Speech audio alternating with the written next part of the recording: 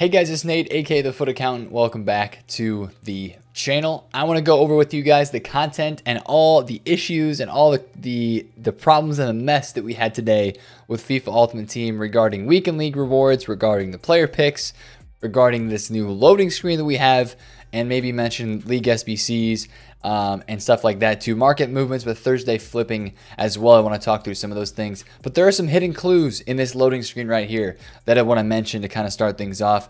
And of course, as we look at today's content. Now, I tweeted out today that it looks like we're getting loading screens as like content now because EA has changed the loading screen. For the first two days, they've had a screen for team of the year, they've changed it. So I would maybe presume that we're getting another loading screen today on Friday. That would make sense uh, since they've added two new ones for the first two days. This is also the actual in-game content that we got today. We got a uh, League SBC for the Eredivisie. Both these guys look pretty solid. So if you're somebody who does BPM, you like grinding League SBCs.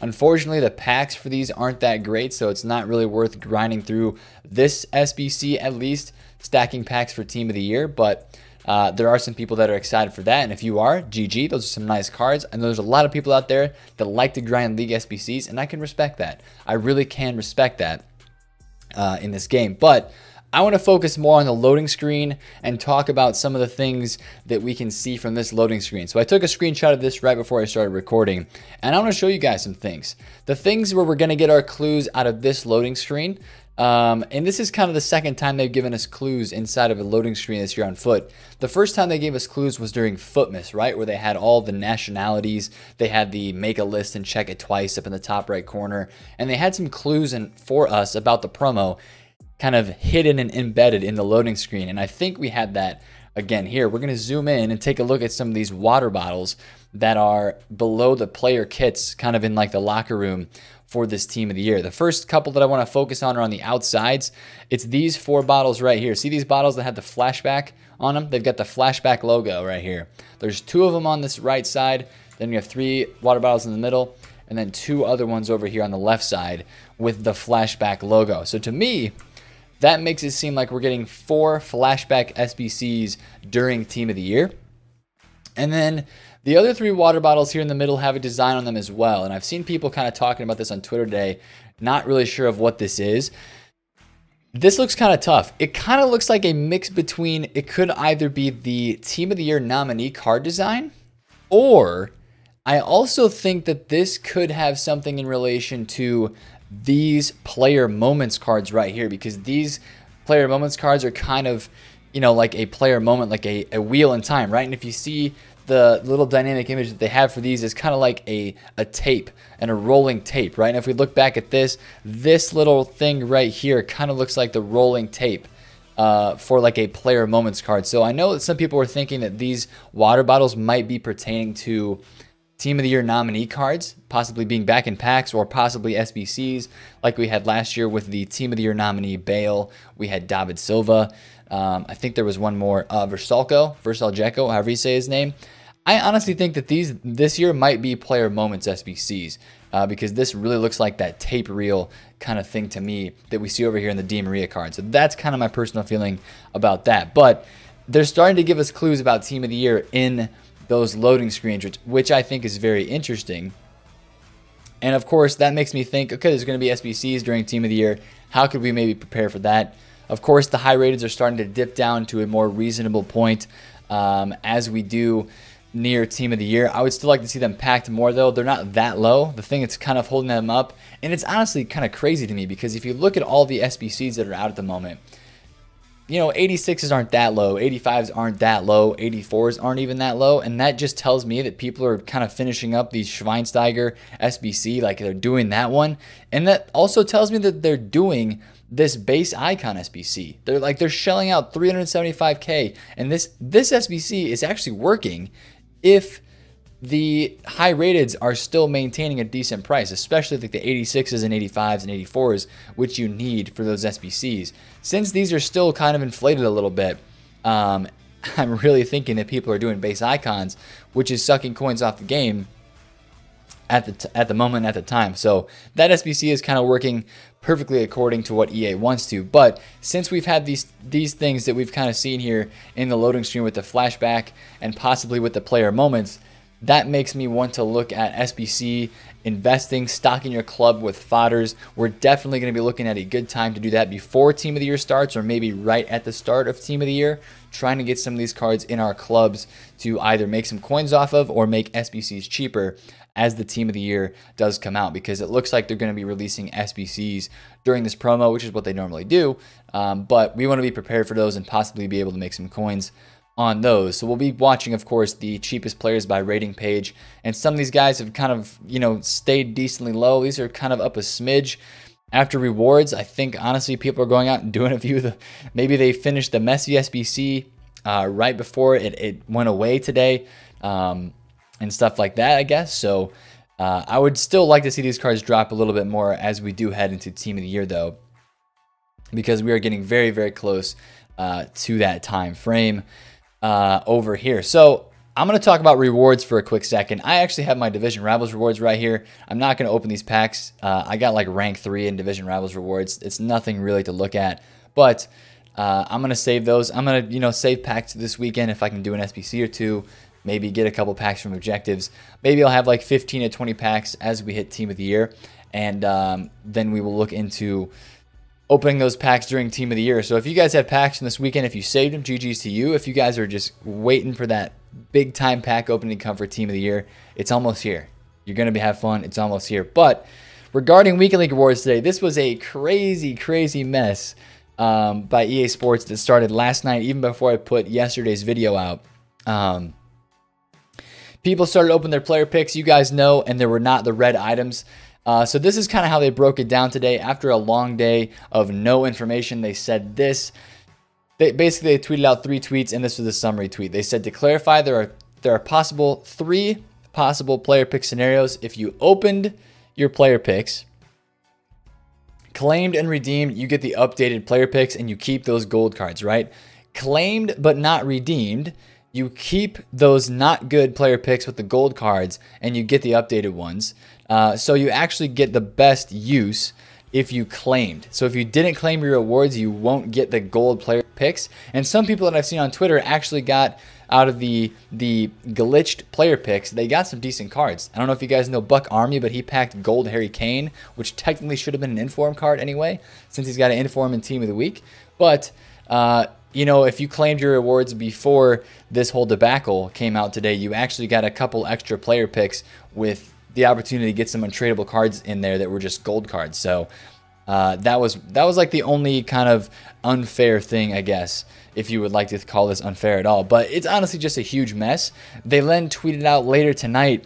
Hey folks, we've begun to resolve the player pick rewards issue which contained incorrect items. You can expect the correct player pick rewards within two days. Two days, man. Two days, man. It's going to be literally, you might be finished with your next weekend league before you get your player picks um, for the last one, which is crazy to think about, right? So that just really sucks. Um, I know a lot of you guys, I saw a lot of you guys that got like elite for the first time or their best ranking of the year for some reason, and you're not able to, you know, get those cards out of your player picks and that's just a huge mess. So I apologize for all you guys. Uh, it sucks that we have to deal with that, but it's just kind of the way it is, and uh, it's kind of funny to laugh at too, right? You know, we can we can expect some mistakes here and there, but this week, this week on FIFA, with all of the EA's mess ups with, um, um, you know, the wrong rating for Harry Kane and Team of the Week, incorrect ver- uh, words and typos and tweets, and now this, it's kind of just been one of those weeks to forget about uh, for EA Sports. So that is definitely something that is unfortunate, but something that we saw on the game today. So again, I want to look at Thursday flips really quick for a little bit. Um, I, I talked a lot about Premier League stuff last night on stream. I talked a lot about Premier League stuff for the Thursday flips. There was a lot of stuff again in that lower edge of the market that did well today. Again, under like 350,000 coins was really the move for a lot of stuff uh, today. I still have a couple cards that are selling right now into the evening time, uh, and you know, you can always kind of stretch out, especially with the fact that we didn't get a lot of content today. I didn't expect anything. I didn't really see the need to have to sell your cards by Thursday at 6 p.m. UK. A lot of times when we're not sure if there's an upcoming promo or last year we had a promo on this date and it should be coming this week, that's when we sell before 6 p.m. UK on Thursday. But today was not one of those days. So it was a good day for Thursday flipping. If you're on the lower end of the market with informs and stuff, it definitely worked out. I'm trying to get my Messi to sell somewhere around 1.2 million coins. I bought that at 1.099 last night, so that'd be a really nice flip. Uh, overnight if I was able to do that. I'm definitely going to get that out. And if you guys, again, if you have anything that you need to sell uh, before before team of the year, whether it be like a prime icon. Uh, speaking of prime icons, I want to look at this guy really quick. Prime Ruud Gullit was extinct last night at 9.25 million. Actually, somebody in the YouTube comments, you know who you are. Somebody asked, should I sell my Gullit at 9.25? Is extinct. I told him yes, please do that because this card's going to get packed a lot as we head into team of the year, and he's now down 8.7 million. So we went from extinct at 9.25 to not selling at 8.7. So I really hope that guy in the comments, if you're you, I really hope that guy sold his Gullit for 9 mil because uh, he sold that at the optimal optimal time. A lot of the prime icons went a little bit lower today. Some of the base, the lower tier icons, they did move up a little bit. You know, one of my favorite examples is this guy right here. Ian Rush, his uh, baby card. This card's like 230, 240. Now it's all the way up at 260, 270. So that card rose up a decent amount. Again, it was kind of the lower tier stuff that rose up, which is what we've been seeing in the most recent weeks. Inform special cards. And one thing that I want to take note of is if you have a little bit of time, uh, like Friday night, Saturday, go ahead and take a look through this team of the week page, which is players drop down on Futbin, go down to Team of the Weeks, scroll through this page and look at some of the cards that did really, really well from the, the, from all the Team of the Weeks and the special teams of special cards we have gotten. Because if you take a mental note of the stuff that did really well, like this Serge Gnabry card did fantastic this week. Uh, he was in Team of the Week this week, of course. He was at 58K at one point on Monday. And he wrote he's already 74,000 coins. Even yesterday, Wednesday before rewards, you could have got him at 58, 60,000 coins. And uh, after rewards, the man was up all the way up over 70,000 coins. So that was a great weekend league riser, um, a flipper. But if you just kind of look through these team of the weeks, you know, take 15 to 20 minutes and scroll through some of these team of the week cards and notice the ones that really rose up a lot this weekend. That is really good for just your knowledge and for your knowing of which cards rise. And you should expect to trade with those cards a lot more on uh, subsequent Thursday flipping periods after this one, right? Because it just shows me and it shows you, and it just kind of shows that there's demand for that card on this market. Even in a time in the market where a lot of people aren't buying cards for their teams, this market is low right now. This market is very low, not a lot of coins because people are expecting a huge promo, one of the biggest promos of the year. This Theo Hernandez card, 84 rated. 77,000 coins before rewards. What happens after rewards? The man goes from like 77 80k all the way over 90,000 coins where he's at right now. So that's a really nice weekend league riser. Again, if you have some time, scroll through these team of the weeks, finds the one, find the ones, find the special cards that had the best return on investment. Kind of make a mental note of that, right? Jot down those cards, and then you can refer back to those for possible Thursday flipping opportunities in the future. So that's something that I wanted to note with you guys as well. And again, if you have anything, I mentioned this a little bit earlier, I started to talk about it, but if you have anything that you need to get out of your club this weekend that you think is going to drop down a lot, whatever that card may be, uh, this is your opportunity to sell it, especially, um, you know, a lot of people think that some of these cards are going to dip down a bunch in price.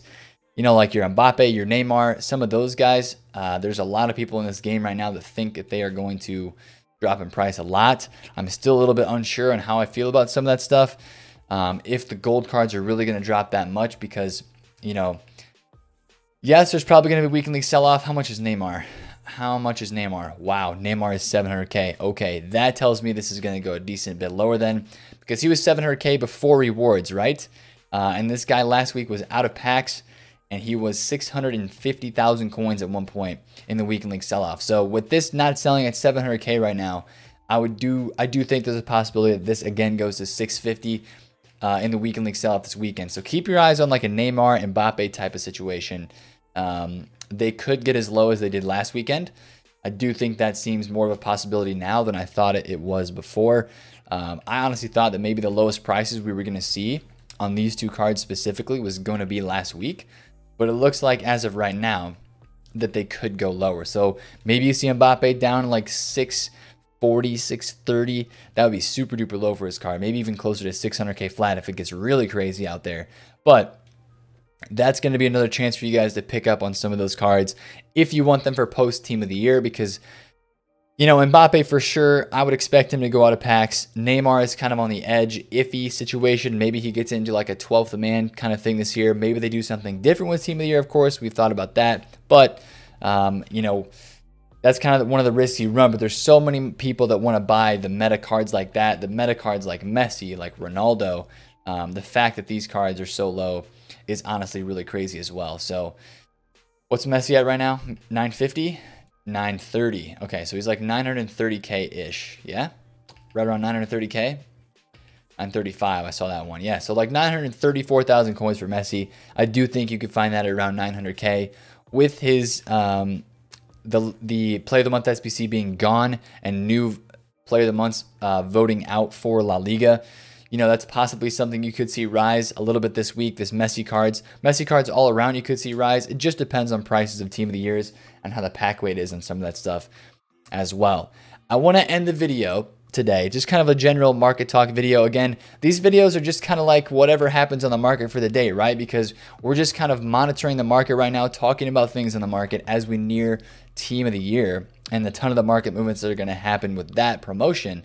But right now, it's just kind of in like that, you know, waiting period. We're not exactly there yet. So we're still kind of just waiting for all that to come. Uh, but one last thing that I want to talk about is Team of the Year upgrade packs and possibly getting your club ready for some of those. Uh, and this is what I want to I, I want to kind of present an idea to you guys. This is something that I did last year during Team of the Season. I know a lot of people did as well. And this is just something that you can do right now if you want to. Uh, I just bid 700 on that. I didn't want to. I want to bid 650. But this weekend, maybe at late at night when there's not a lot of people looking at the market, if you want to, this is something that's purely up to you. If you're somebody who's going to do a lot of upgrade packs during Team of the Year, something that you could do to get a head start either at the beginning of Team of the Year during lightning rounds or even beforehand is start to stock your club with rare golds, right? Because if they put out upgrade pack SBCs. We're talking the Premier League upgrades, Premier League premium upgrades. I do think they're going to drop some sort of SBC and people are going to hit those upgrades with team of the year cards being in packs. You're want to probably stock your club, especially if you're planning on doing a lot of upgrade packs. And I mean, I'm probably to be doing a million, maybe even 2 million coins worth. So about half of my total coin value on upgrade packs. Um, this is something that you can kind of consider stocking your club, at least going through the major leagues, going through the Prem, going through La Liga, going through Bundesliga, possibly even League One, especially League One with the uh, very few amount of rare cards that it has in that league, and just stocking your club with those, I think is a good shout. Trying to get them for like you know anything that's an under 82 rated card, get it for 650 or 700 coins. And then if it's an, an 82, maybe you spend 750 or whatever. But doing a club stock on those cards can save you a lot of coins when those SBCs come out and all gold rares go up like 1k. So that could save you some coins if you go ahead and do that beforehand. And if you're really, really ballsy, I was kind of thinking about this tonight. I was talking to another guy in the FIFA community about this. Um, would it be worth it to go unassigned on these cards for when they do put the upgrade SBCs out? Because if you think about it this way, if you buy like a thousand cards at 750,000 coins, and that's so it's if you buy a thousand of the rare gold cards at 750 coins, uh, or if you buy, yeah, if you buy a thousand of them at that price, instead of buying a thousand of them at 1K, which is what they could very easily rise to. So if you go unassigned basically and just stock a bunch of rare golds that you're going to put into SBCs, those league upgrade SBCs, uh, you could save yourself some big coins on doing packs, and that would allow you to do more packs for the amount of coins that you're buying cards for. So if you think about it that way, I'm kind of tempted to do that. I'm going to think about it a little bit more over this weekend. I'm probably not going to end up doing it just because I don't want to be unassigned and I hate being unassigned. But that is something that either from a trading aspect, if you want to try to make coins off of that, or if you wanted to get ready for Team Year upgrade packs, uh, that's something you can kind of think about and put in the back of your mind as well. But a club stock would definitely be something I would recommend. Club stock with some some of those you know discard gold cards from the major leagues if they do put out upgrade packs, which I do think they will. you probably will see some of those cards rise up. Like, boom, I just got Milojevic right there, 700 coins. I'm going to chuck that in the club. He's probably going to get put into some sort of SBC. So if you're not somebody who's going to be opening a lot of packs during Team of the Year, then I would say going out and buying some of those cards, you know, even spending like 100,000 coins and bidding on a bunch of those cards could save you some coins heading into the upgrade pack time frame where there's going to be a lot of upgrade packs opened on this game uh, during during uh, Team of the Year. Now, of course, you're banking on the uh, you're banking on EA Sports and you're relying on EA to put out a decent upgrade pack SBC, which you know we don't like to rely on EA Sports for a lot of things, especially in terms of content and SBCs, but. Uh, they, they do upgrade packs every year for this promo, so I would say that it's very, very likely that they come out, and um, they will probably require some rare gold cards. So that's just something that I was thinking about towards the end of the video that I wanted to share with you guys.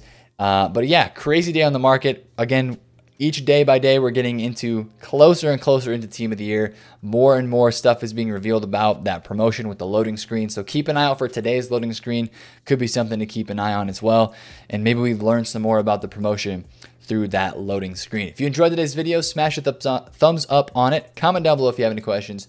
And of course, subscribe to the channel if you're new. It's been Nate, the FUT Accountant. Catch you guys later. Peace out.